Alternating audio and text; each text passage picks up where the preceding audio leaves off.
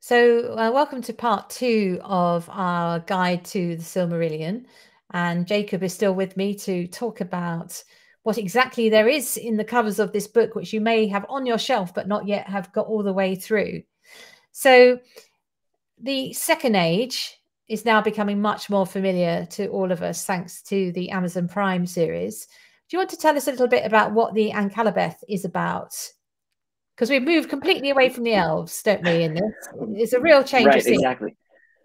Yeah, and this and this one really is is different. And you mentioned this in the uh, last episode that it's a, a, kind of a different, separate story. So the the the Quenta Silmarillion ends with the end of the of, of the first age, really, right? So the Silmarils are, are are are gone, are no longer part of it, and it's not the children of Feanor kind of driving things now you have uh, men, which aren't just exclusively male, right? So that's this catch-all term for humanity, um, and they become much larger players here. Uh, and the so this is section, this uh, Akallabeth, uh, is a literally it means the down the downfalling um, and it's the downfall the subtitle that, that julia shared earlier was uh, the right it's the, the fall of, of Numenor right? Um, so it's a downfall in and it's the this world this well this this land right? So at the end of the first age um, there were part of the factions of men were kind of helpers of the elves in their war against Melkor renamed Morgoth. Um, and they were as kind of a reward they were given a land of their own uh, this island uh, called Numenor right? And uh, it's it has ties. You know, you, you see resonances with uh, Atlantis um, myths, uh, and actually, you know, the one of the words for Numenor uh, is related to Atlantis in in Elvish, but they get a different etymology that that Tolkien kind of brings in there. Um, so that's this, it's a, it's a gift. It's put kind of partway between the shores of Middle Earth and Valinor, the lands of the the Valar, the the gods. Um, so it's kind of this halfway place. They can you know just see how great it is, but they're still tied there.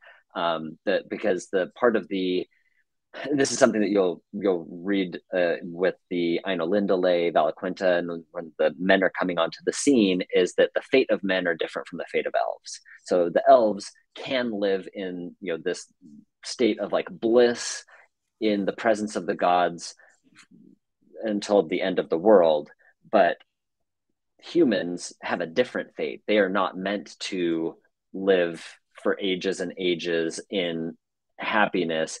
They have a different fate, and, and they are kind of a, a people apart. They're referred to by the elves kind of as the, the strangers.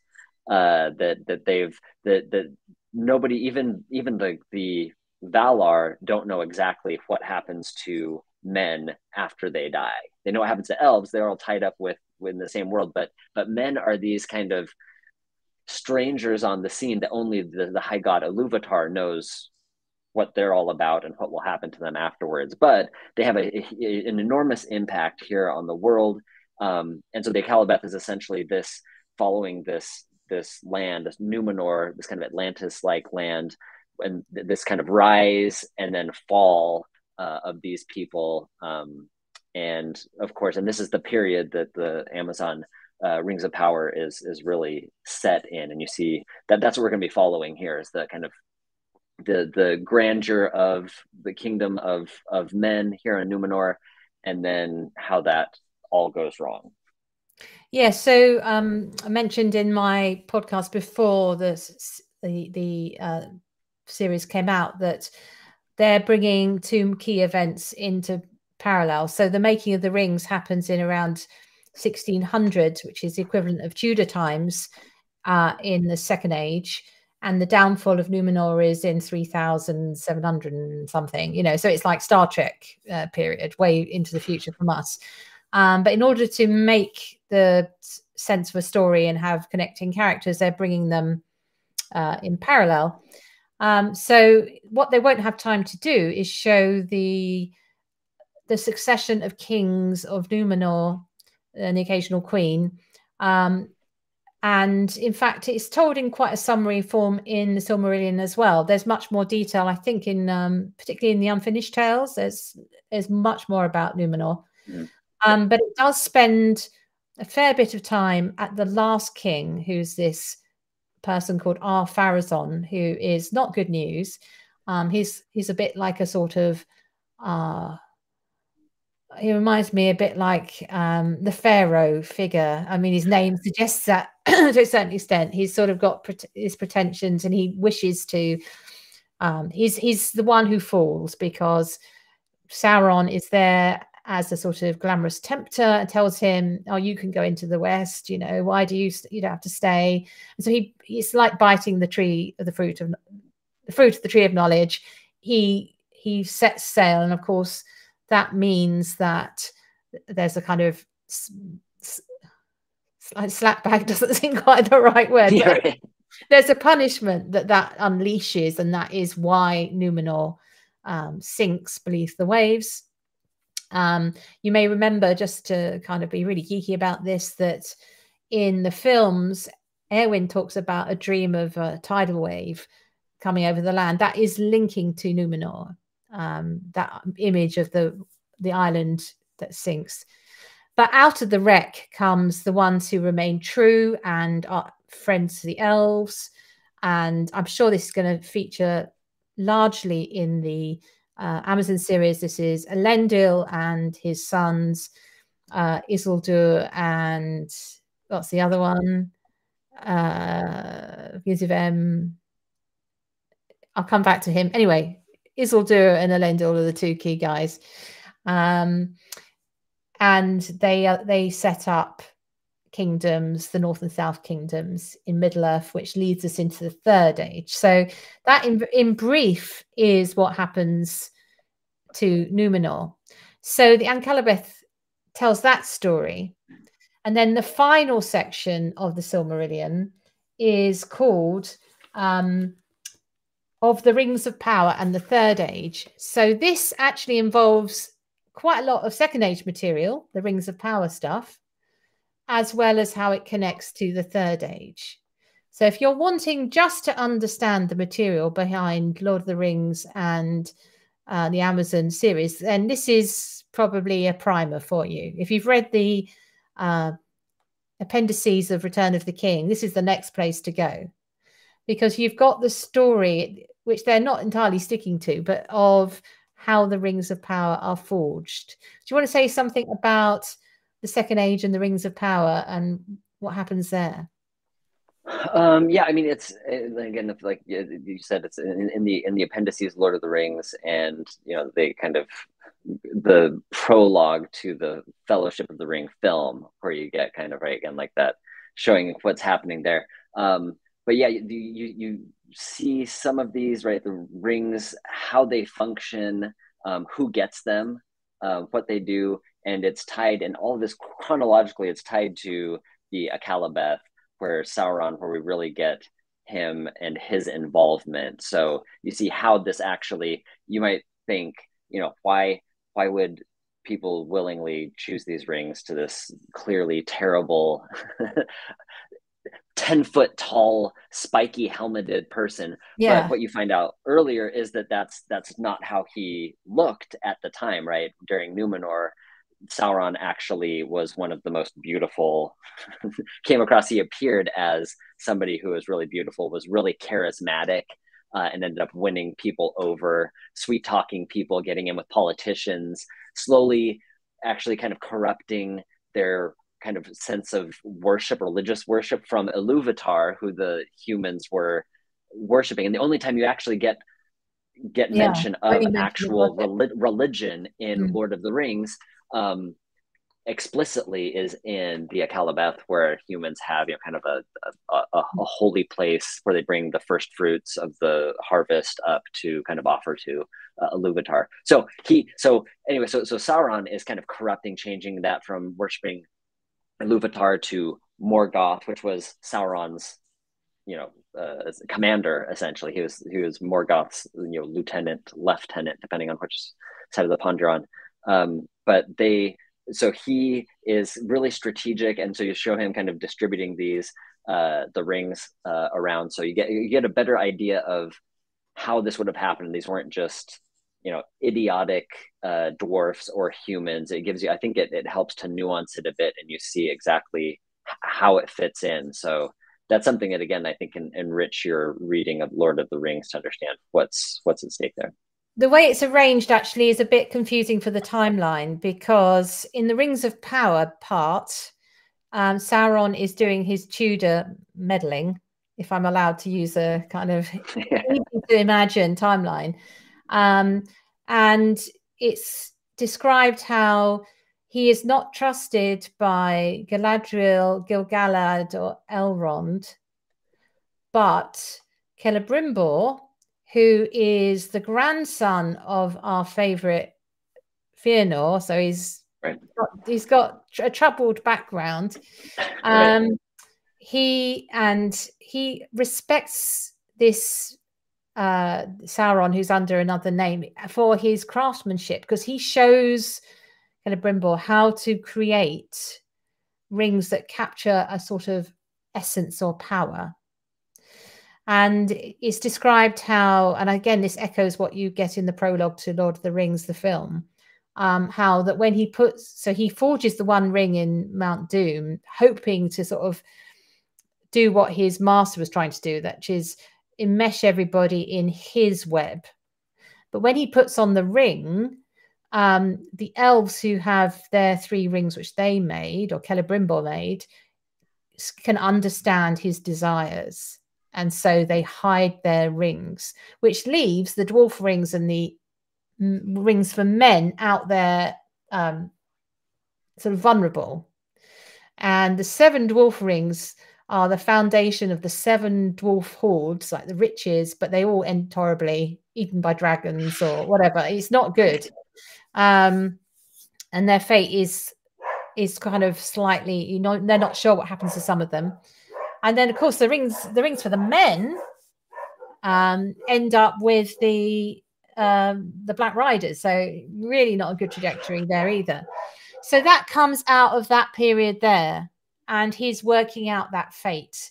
Um, and there's a battle that happens in the Rings of Power section, where um, I'm afraid the the odds aren't good for the outcome for Celebrimbor, but there is a sort of pushing pushback of Sauron, and then he then takes on the Numenorians, and so that bit comes after. Then then it weaves back into that section. So in fact, this is why it's not quite. It doesn't help you the way it's arranged um, because you then get the end of the Second Age, which again takes us right back to the beginning of Peter Jackson's Lord of the Rings film. To tell us about that battle, who's there, who is the last alliance. Um, so the, basically, that's where all the story threads enmesh. Is at that point. So Jacob, you can you can tell us in brief. that's good. that's, no, that, I think that's that's fantastic, and this is another one that I think a good entry point if somebody's daunted by the Silmarillion as a whole to take on it because this is essentially this is an essay yeah. really summarizing it. So it's not really part of the it's not part of the Quenta Silmarillion um, proper. And so it's like the Akallabeth, which was kind of a separate story, and this one is essentially an essay that was kind of included at the end.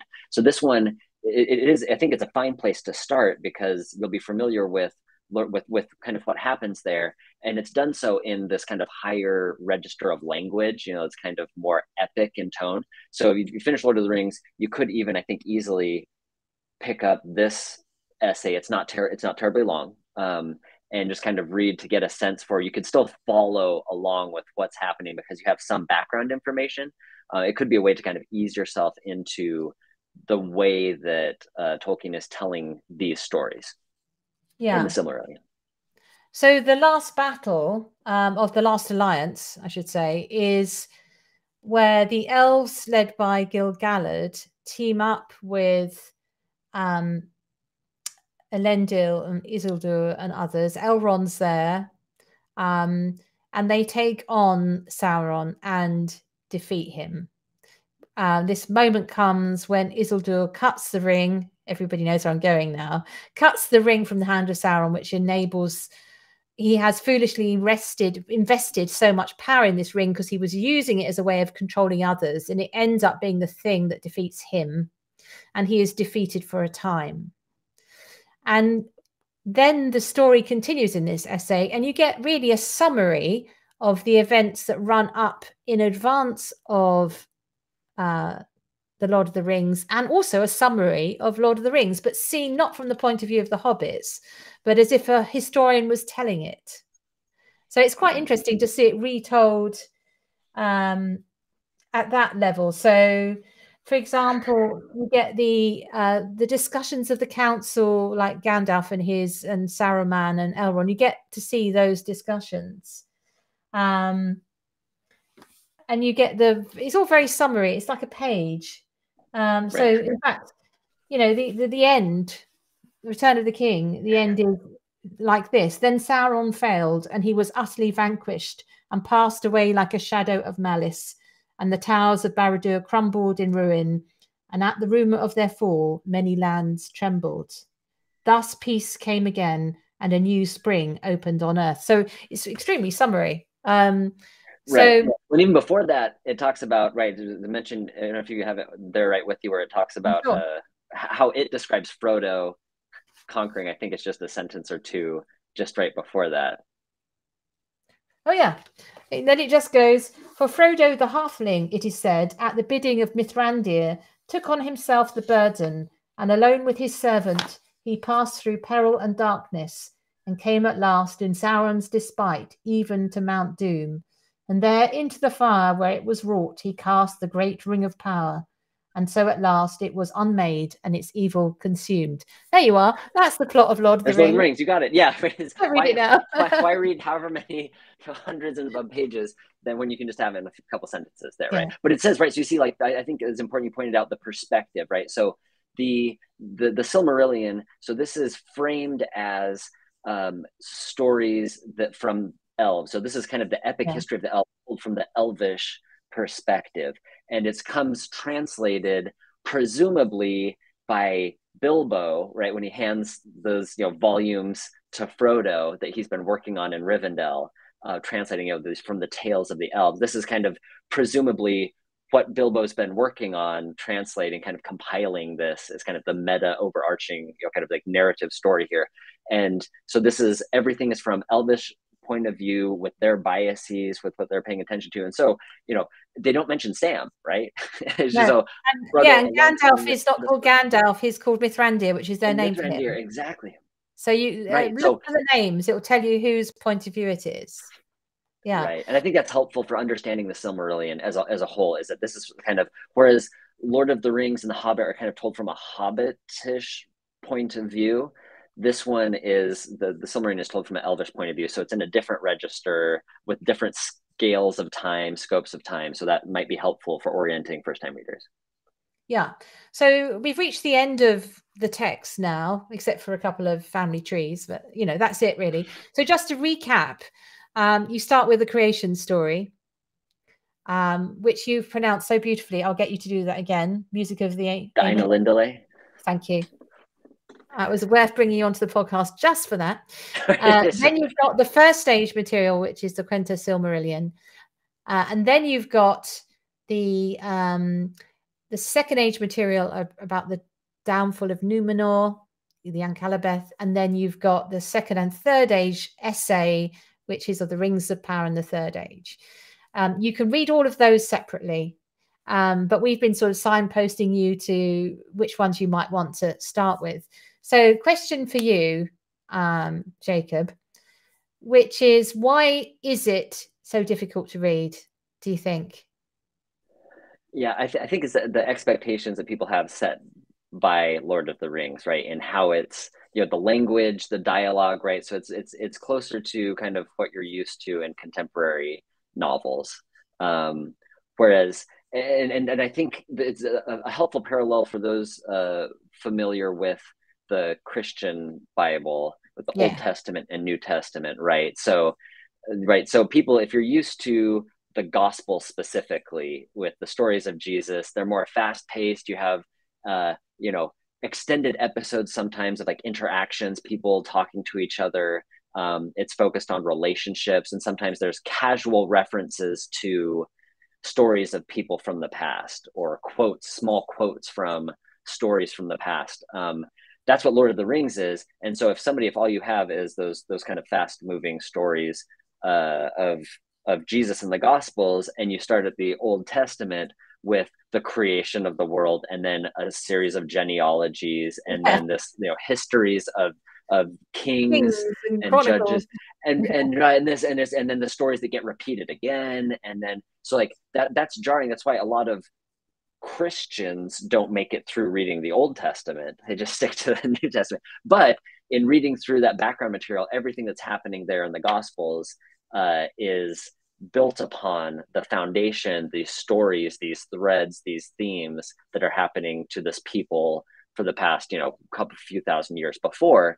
So there's very similar parallels in how you know the the Old Testament, New Testament are functioning to say the Silmarillion, uh, how that is framed, and then the Lord of the Rings. So I think that's for for for for a lot of people that I've spoken with, they stop because I think they're expecting more of Lord of the Rings in tone and pacing, and they're not getting that.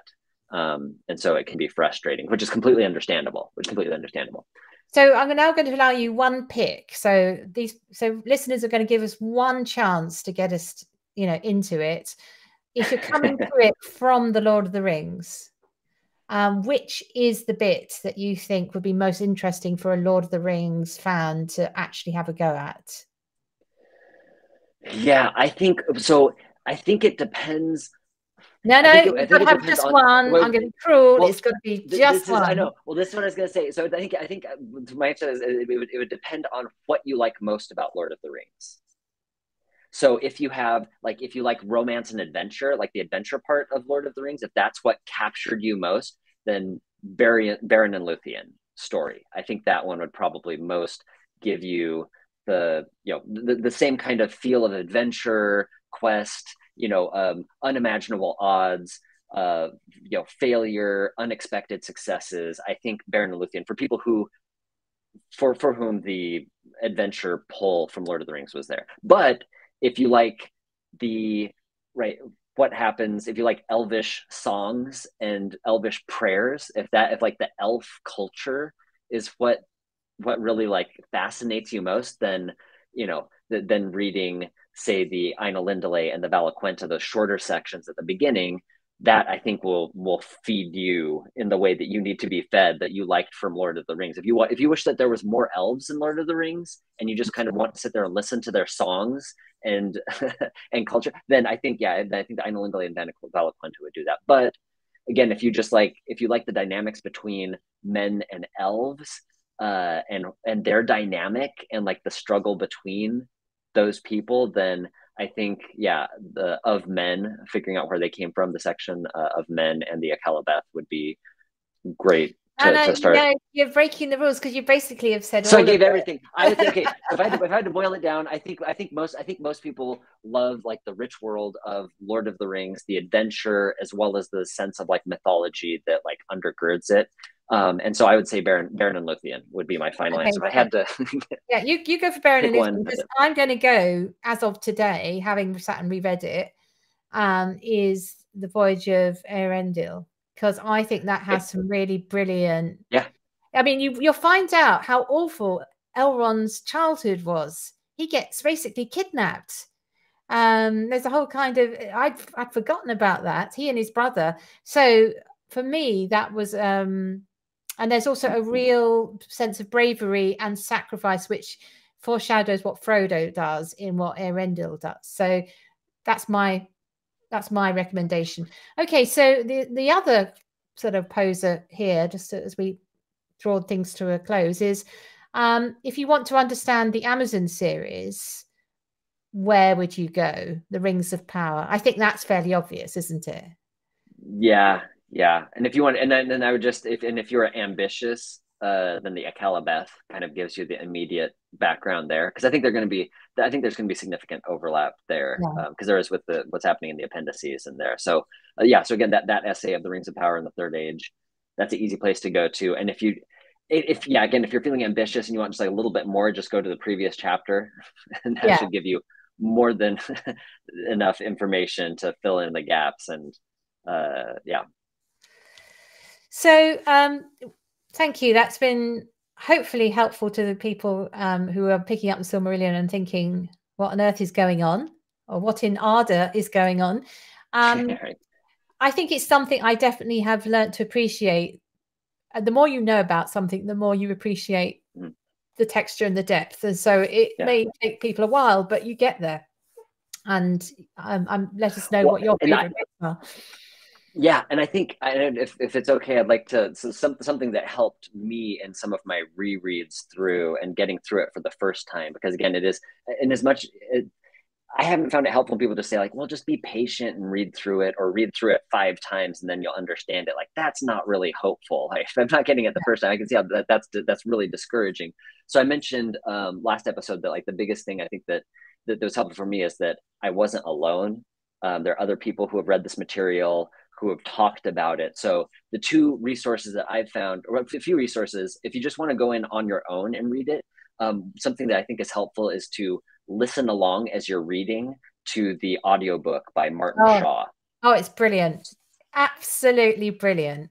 Yeah. So that I think that's helpful because like if you're just because sometimes you know you're just sitting there and reading words like you know there's some people that if they're they're reading a phone book and it's captivating like Martin Shaw can do that right so his his voice and he's helping and he's pronouncing and his pronunciation sometimes doesn't align well with Tolkien's pronunciation, but he's you're hearing the words. So I think that can be helpful for people who feel that they're struggling. Just listening to that while you're reading it, I think can be a way to like make it more engaged. That's one, one thing if you just want to do it solo. If you really do want to help somebody kind of have, have somebody who can guide you through, there's two, I think for begin like very, very beginning, um, uh, Dr. Corey Olsen who's you know nicknamed the the, the Tolkien professor. Um, he has uh, he podcasted. He did a survey course uh, at uh, his university on uh, Tolkien on Tolkien's writings, and has nine different class periods uh, that are under an hour each on the Silmarillion. And so this is for an undergraduate audience. So it's very and he says you know says like here's here's what you're going to be reading, and so you can read those sections and then listen to the class discussion to get some of the high level talking about some of those um, topics uh, through that. So nine, nine episodes. So that's you know less less than nine hours that you can stop. And that was helpful for me was stopping after I'd read a section and then reading something about it, kind of refamiliarizing myself, recontextualizing myself with somebody else to kind of help refresh it and make sure that I understood what was happening because it's a lot of information and, and it can it can be overwhelming for first time readers for those first time readers who are more ambitious um, or you're going through for a second time for some of the audience who will be will be rereading the Silmarillion, I highly recommend the Prancing Ponies uh, podcast. Um, and they have almost 50 episodes where they're looking, you know, chapter by chapter, having hour and a half uh, kind of conversations where they're bringing in.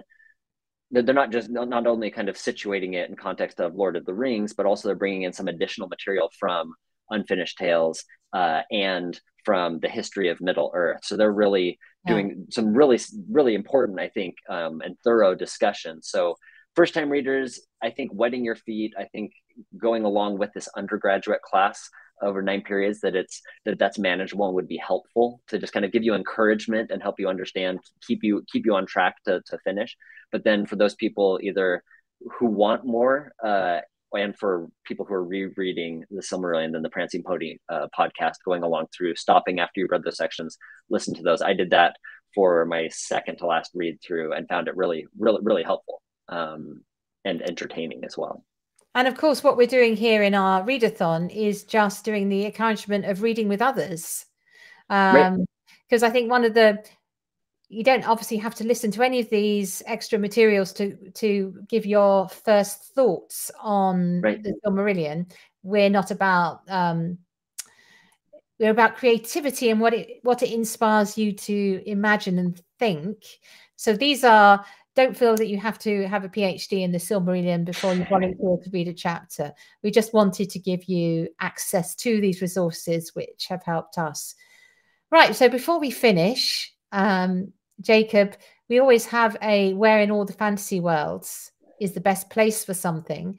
and I was humming and hurrying about themes in the Silmarillion, and I decided one which I hadn't touched on before is exile, because in fact the elves are in exile, uh, the ones that we meet in Middle Earth, uh, well, the Galadriel type elves. And I was thinking, where in all the fantasy worlds is the best place to be in exile? Because you get that hankering from the country you came from, but that may not be quite what you want um, because you're also in love with the place you have arrived at. So, have you got any fantasy worlds where you've thought about the theme of exile?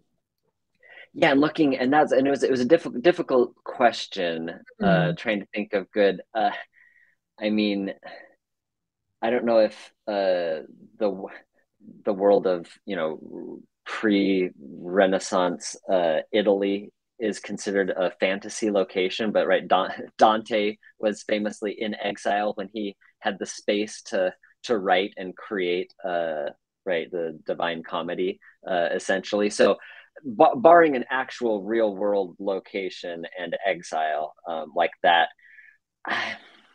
this and this this I, I, I recognize how this might sound, but I think um, I think Earth, I think the Marvel Cinematic Universe Earth uh, is the best place to go into exile, like Thor, right? Thinking of, yes! Of Thor.